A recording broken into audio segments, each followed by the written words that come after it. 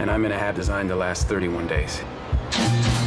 So I got to make water and grow food on a planet where nothing grows. 被困在火星上的太空人得想方设法自救生存，这样的科幻电影情节在现实生活中即将上演。NASA is looking for applicants to take part in its next simulated one-year Mars surface mission. NASA 宣布征求四名志愿者住在一个一千七百平方英尺的火星沙丘栖息地，模拟火星任务。在资源有限、设备故障、通讯延迟，还有其他环境压力因素下。 四名志愿者将在 3D 列印出的火星表面上挑战太空行走、操作机器、种植农作物。申请条件也曝光。You have to be a U.S. citizen or a permanent resident, somewhere between 30 and 55 years of age. You can't be a smoker. 除了是美国籍或永久居民，申请者还得拥有理工科硕士学位、两年相关领域的经验，或至少一千小时驾驶飞机经验。这四名志愿者将于明年初成为第二批进驻模拟火星栖息地的人。In being in a microgravity environment,